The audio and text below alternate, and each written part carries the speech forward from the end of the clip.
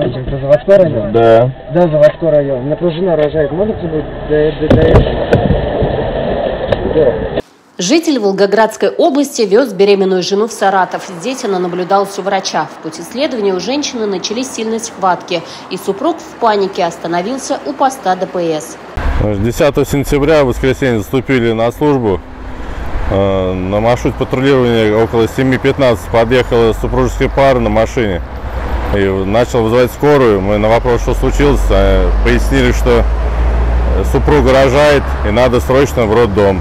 Инспекторы пересадили женщину в служебный автомобиль, сообщили в дежурную часть и, включив специальные звуковые сигналы и проблесковые маячки, в кратчайший срок спроводили гостью Саратова до больницы. Мужу сказали не волноваться и ехать за ними. Когда инспекторы уехали быстрее меня, я следовал за ними.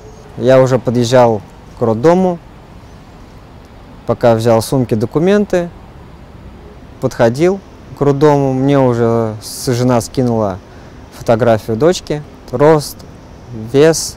Я был очень радостный, доволен, что довез жену без происшествий, что ребята мне помогли, не отказали в трудную минуту.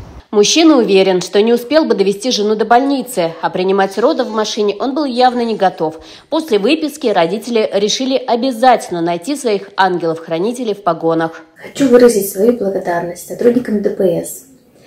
А, К сожалению, не знаю их имен. Спасибо вам большое за то, что не отказали в помощи, быстро среагировали, довезли до роддома аккуратно и быстро с мигалками. А, Не паниковали, как мне показалось, потому что паниковала я, было очень страшно. А, Донесли на руках до кушетки. А, В общем, спасибо вам большое. Благодаря вам я родила здоровую, красивую девочку. Эллада Абжалимова, Расул Ибрагимов, Анатолий Чернов. Дежурная часть «Саратов».